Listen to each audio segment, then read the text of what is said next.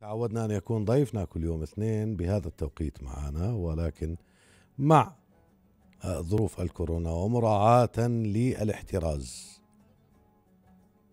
عمان تي في وسي إف آي وشركائنا جميعا زين وغيرهم من الشركاء يعني متفقين على أن يكون هنالك رسالة عبر هذا المنبر تقضي بأن آه، نعزز فكرة التباعد والحرص وبالتالي لقاءنا اليوم مع أخونا مهند عريقات كبير المحللين الماليين بشركة CFI شركة الاعتماد المالي الاستثماري للوساطة المالية عبر الهاتف. أخي مهند صباح الخير تحياتي. يسعد صباحك أستاذ ابو أحمد حياك الله. يعطيك ألف عافية. قبل أن ندخل في صلب الموضوع باستعراضي لل slide الأول تمام. الخاص ببيان المؤشرات بسوق عمان المالي. حقيقة آه، يعني الفصام اللي صابني أكثر من الفصام اللي سواه كورونا. لأنه تتحدث بمؤشر يسجل تراجعا وما زال المؤشر دون متوسط الأسعار لآخر عشر أسابيع ومع ذلك تتحدث أيضا بنشاط إيجابي لشركات المضاربة ومعدل يومي يرتفع بنسبة 12.3% من هنا نبدأ. تفضل يا سيدي. تمام تمام. أشكرك أستاذ أحمد على الملاحظات اللي تفضلت فيها. بالفعل آه، هو النشاط الإيجابي لشركات المضاربة ولا يعتبر مؤشر جيد أو مؤشر إحنا نطمح له. بالعكس إحنا دائما نطمح انه يكون الأداء الجماعي شمولي بحيث يشمل جميع القطاعات ومعظم آه، أسهم الشركات المتداولة في بورصة عمان وبالذات أسهم الشركات القيادية. بالفعل إحنا شفنا زي ما راح نشوف بعد شوي بعض الأرقام راح تؤكد كيف كان في هناك ارتفاع بمعدلات التداول وكان في هناك ارتفاع لبعض أسهم شركات المضاربة هي التي أدت إلى ارتفاع المعدل اليومي لحجم التداول بمعدل أو بنسبة 12.3% ولكن ولكن هذا النشاط أو هذا الارتفاع بأحجام التداول آه، ما كان كافي وما كان مشجع على أنه نحقق ارتفاع بتعاملات الأسبوع السابق لننهي الأسبوع على تراجع بنسبة 18% معدلات الارتفاع والمقاومة توقفت عند 1683 هاي النقطة اللي هاي ما وصلنا له. وصلنا أسبوعين. عم نحكي فيها. ما, ما المؤشر غير قادر على تجاوز تلك المقاومة. وهي أيضا بالمناسبة تمثل زي ما تفضلت حضرتك بالمقدمة هي تمثل متوسط الأسعار خلال آخر عشر أسابيع. طيب. انتقالا لأداء القطاعات الرئيسية وحجم التداول يا سيدي. طبعا عم بنشوف من خلال الشارت اللي موجود على الشاشة إنه قطاع الخدمات هو الوحيد الذي أغلق على ارتفاع بتعاملات الأسبوع السابق ولكن بالمقابل هو كان الأقل تداولا. وهذا بيأكد لنا على إنه آه، هذا الارتفاع هو ارتفاع غير صحي وغير آه، مضمون الاستمرارية. فبالمقابل القطاع المالي كان الأكثر تراجعا وكان الأكثر تداولا مقارنة بباقي القطاعات. فهذا يعني باكد لنا ليش المؤشر أغلق على تراجع الأسبوع الماضي؟ طيب اذا اذا إحنا بنحكي قاعدين بأنه حسب التشارت اللي موجود أمامنا حجم التداول ونسبته آه تختلف تماما عن آه حجم الحركة. مش هيك؟ يعني هذا هذا شيء وهذا شيء. نعم بالضبط أستاذ أحمد. هي علاقة عكسية. ولما تكون علاقة عكسية بصراحة هذا يعتبر مؤشر سلبي. مم. يعني كما تفضلت أستاذ محمد آه لما يكون عندي مؤشر القطاع المالي هو الأكثر تراجعا ولكن بالمقابل هو الأكثر تداولا فبالتأكيد هذا يعني معنى واحد له إنه الاتجاه المسيطر على أداء البورصة هو الاتجاه الهابط طيب ما بين 90 شركة 33 حققت ارتفاعا و61 حققت انخفاضا. الملاحظ بأنه نسبة الثلث اللي هي نعم. ب 33 شركة القيم بحوالي 15.5 مليون دينار كيف نعم. تفسر نعم. هذا الثلث آه نعم. ثلاث أضعاف تقريبا الثلثين للشركات اللي انخفضت نعم صحيح آه يعني أستاذ أحمد يعني جميع ملاحظاتك في محلها بصراحة وملاحظات في قمة الروعه تعليمكم سيدي شو من رافق السبع خلص علمنا الدرس آه. بالفعل أستاذ نلاحظ إنه على الرغم من إنه عدد الشركات المرتفعه هو فقط 33 شركة الا انه هذول ال 33 شركة كانت نسبة التداول عليهم بلغت 64.5% من إجمالي حجم التداول. يعني هذا بيعطينا معلومة واضحة جدا ما بدها يعني كثير آه، شطارة. على إنه عدد محدود من الشركات وهذا اللي أنا بقصده في البداية عدد محدود من الشركات وبين قوسين اللي هي شركات المضاربة م.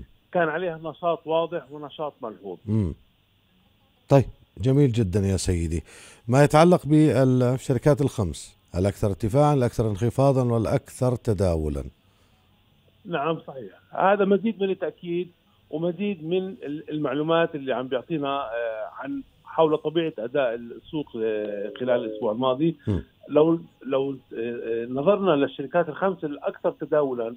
سوف نجد إنه البنك العربي الوحيد ضمن هذه الشركات الخمسة. باقي من تبقى هي شركات مضاربة شركات عادية. وعم نلاحظ هي اللي استحوذت على النسبة الأكبر من أحجام التداول.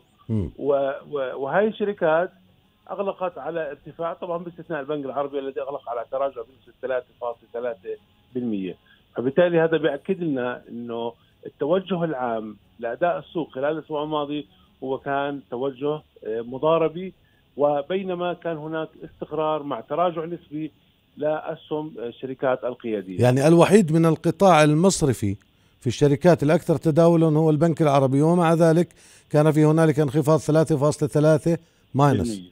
نعم صحيح. طيب.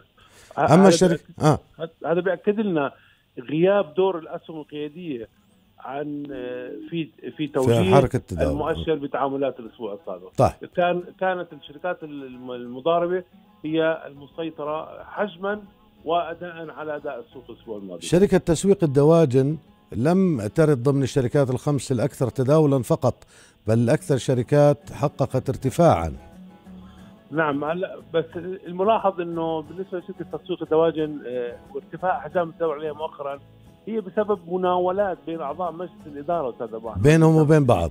نعم هي هي ليست نتيجة عوامل البيع والشراء الطبيعيه هي فقط عمليات مناولات اسهم ما بين أعضاء مجلس الإدارة. مم. مم. مم. وأيضا في خمس شركات أكثر تراجعا. هيها معروضة على السلايد وبإمكان متابعينا عبر آه، صفحتنا على الفيسبوك لعمان تي في. إنهم آه، يطلعوا عليها. طيب الآن إحنا بنتحدث على السوق العالمي يا سيدي.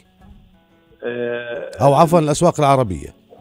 طيب تمام. الأسواق العربية عم نشوف إنه بورصة الأردن وأبو ظبي أغلقت على تراجع بينما كان هناك استمرار للأداء الإيجابي للأسواق العربية وبالذات بورصة دبي التي يعني وصلت القيمة السوقية لاسواق الإمارات. هذا يعتبر العنوان الرئيسي للاسواق العربيه الأسبوع الماضي آه، بما فيها سوق دبي وأبو ظبي. القيمة السوقية تخطت حاجز 2 تريليون درهم فبالتالي هي تعتبر من الإنجازات التي تحققت آه، وبشكل واضح جدا خلال الفترة السابقة. 2 تريليون درهم مع تسجيل سوق أبو ظبي للأسبوع. هذا انخفاض بنسبة فاصلة 17 17% بس نحن بنحكي على على على على الأسابيع السابقة. بالضبط كعملية يعني آه، تكاملية أو كأداء مجمل خلال آخر فترة هو القيمة السوقية تخطت حاجز 2 تريليون هذا يعتبر إنجاز ويؤكد لنا على أنه الأسواق العربية مؤخرا أو خلينا نحكي تحديدا من شهر ثلاثة لغاية شهر ثمانية الحالي عم تتحرك ضمن اتجاه صاعد. ولكن الانخفاض في الأسواق العربية آه، المركز الأول اخذه السوق المالي الأردني. آه، يعني بتلاحظ أستاذ محمد آه، خلال آخر فترة خلال آخر أربع خمس أسابيع عادة ما تكون بورصة عمان ضمن قائمة الشركات المتراجعة. م. آه، يمكن بورصة عمان هي الأكثر وضوحا في الاتجاه في استمرارية الاتجاه الهابط لأداء السوق. بينما مؤشرات الأسواق العربية وبالذات الأسواق الخليجية لا العكس تماما. عم تتحرك ضمن اتجاه صاعد وتحديدا منذ شهر ثلاثة استمرارا للشهر الحالي. طيب نختم يا سيدي بالمؤشرات العالمية. بعد أن اعتمد الفدرالي الأمريكي بتعديل سياسته بخصوص التضخم أثر ذلك على الدولار مؤشرات الأسواق المالية زي داو جونز وأسعار النفط؟ بالتأكيد أستاذ محمد وأشكر حضرتك مرة ثانية على الملاحظات الرائعة اللي بتقدم لنا إياها. بالفعل تغيير الفدرالي سياسته المتعلقة بارتفاع معدلات التضخم فوق المستويات المستهدفة الحالية 2% هذا مما يعني على أنه الفائدة سوف تبقى منخفضة فترة طويلة من الوقت. وهذا الشيء اللي خلى الدولار يتراجع مقابل أغلب العملات الرئيسية آه، وزي زي ما عم نشوف الدولار متراجع مقابل النيوزلندي الأسترالي ال pound اليورو مقابل جميع العملات الرئيسية والفرعية. وهذا الشيء شكل ضغط بالفعل شاهدناه آه، على أداء الدولار. ولكن الأسهم لا آه، هذا شكل دعم لمؤشرات الأسهم وأغلقت جميع مؤشرات الأسهم الأمريكية على ارتفاع. بل إنه مؤشر Standard & Poor's حقق قمة تاريخية جديدة. مؤشر الداو جونز الصناعي آه، محى جميع خسائر العام 2020 ومحى جميع الخسائر التي ارتبطت بتداعيات فيروس كورونا وهو يسجل ارتفاعا آه، منذ بداية العام لغاية الآن. والنفط يا سيدي خام برنت. عفوا أستاذ خام برنت. خام برنت أغلق على تراجع آه، عفوا على ارتفاع بنسبة 2.5% هو يسجل أعلى مستوى له خلال آخر خمس شهور. أداء برنت خلال شهر 8 هو ارتفاع بنسبة 5% يعني آه، أسعار النفط خلال شهر 8 هي آه، سجلت ارتفاع جيد. آه، يعتبر الخامس على التوالي. كل الشكر والتقدير على جهدك معنا ونتمنى أن يكون هذا اللقاء ضمن هذه الظروف إن شاء الله مستمرا.